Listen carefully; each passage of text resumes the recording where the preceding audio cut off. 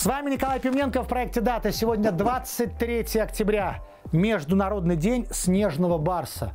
Уникальное животное, которое занесено в Красную книгу по причине своей малочисленности и риска оказаться в числе вымирающих видов.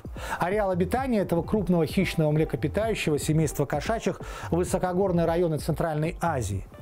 Также сегодня День работников рекламы в России – Теперь о родившихся.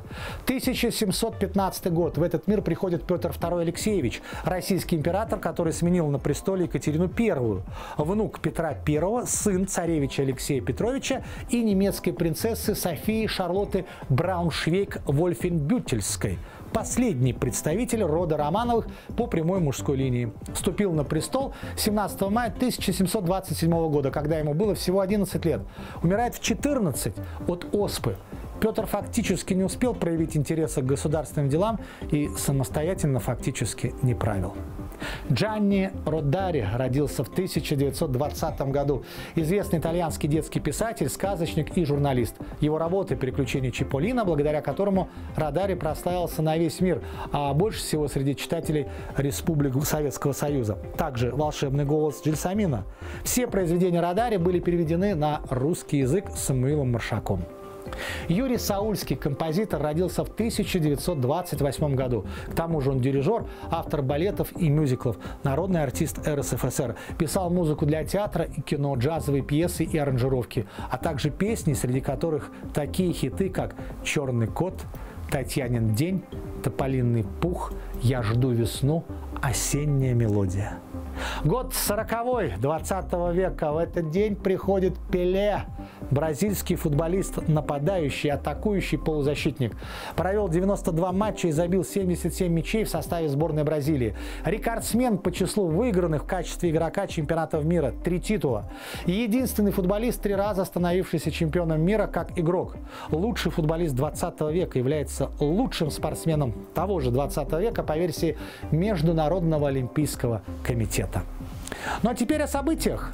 1814 год. В Лондоне хирург Джозеф Карпио официально проводит первую пластическую операцию. Он восстановил нос, переместив на него лоскут кожи со лба так называемый индийский метод. И когда он снимает повязку через три дня после операции, то восклицает сам себе «Бог мой, да это же нос!» Правда, основателем современной пластической хирургии считается все-таки итальянец Гаспар Тальякоцци, который восстанавливал поврежденные носы наложением фрагментов кожной ткани с руки. Но его труд в то время считали преступлением против природы.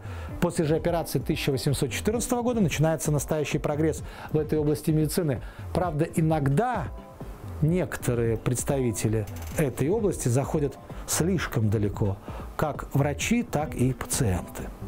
1898 год. Под Петербургом состоялись первые в истории России автомотогонки, устроенные обществом велосипедной езды на дистанции 39 верст, ну, чуть больше 41 километра. От станции Александровская, близ Царского села, до поворота на станцию Стрельна и обратно.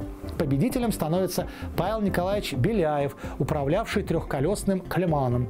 Дистанцию он преодолел за 1 час 33 минуты, показав среднюю скорость 27,3 км в час.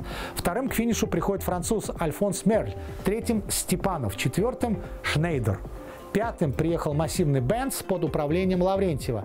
Эта победа принесла народную славу Павлу Беляеву, почетному гражданину Петербурга. Впредь волхонские автогонки, названные так по месту проведения Волхонскому шоссе, будут повторяться и перестанут проводиться с началом Первой мировой войны. 1914 год. В Москве открыто Щукинское театральное училище. Высшее учебное заведение театральное Российской Федерации при Государственном академическом театре имени Евгения Вахтангова в Москве. Любопытно, что сам Борис Щукин в училище своего имени никогда не преподавал он в нем учился, работал еще в ту пору, когда оно называлось третьей студией МХАТ. Не лишне добавить, что в студию он пришел уже взрослым человеком с техническим образованием, учился до призыва на фронт Первой мировой войны в МВТУ. По смерти народного артиста в 1939 году его имя немедленно присвоили училищу. 1917 год. В Петрограде на конспиративном заседании ЦК РСДРП «Б» Ленин при поддержке Троцкого и вопреки возражениям Зиновьева Каменева требует развернуть практическую подготовку к вооруженному восстанию с целью передачи власти Советам, в которых в это время преобладали большевики. В случае неприятия партии этого курса Ленин угрожал своим выходом из ЦК, прямым обращением к массам и разгоном большевистского партийного руководства. Из 21 члена ЦК на заседании присутствовали 12, из которых за ленинскую резолюцию проголосовали 10. И таким образом судьбоносное решение было принято меньшинством Центрального комитета. В 1958 году Борис Пастернак назван лауреатом Нобелевской премии по литературе. Один из крупнейших поэтов 20 века за роман «Доктор Живаго».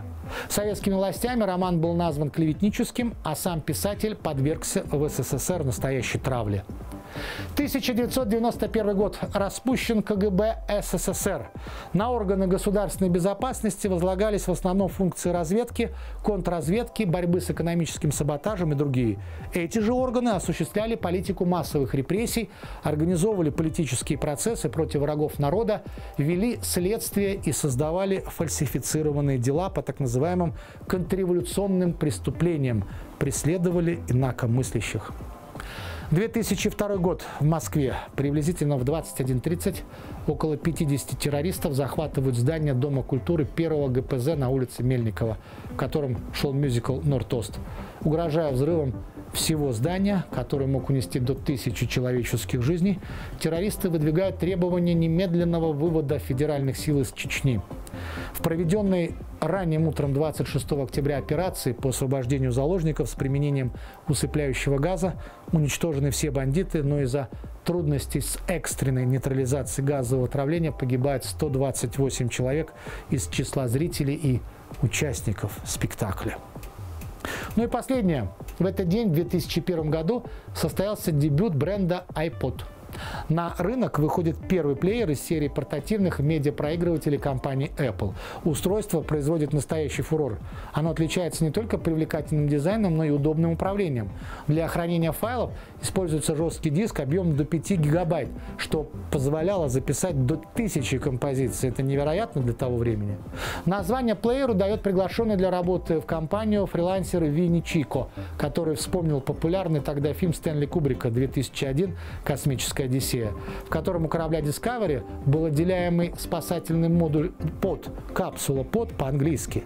Может покидать корабль, но должна возвращаться на него.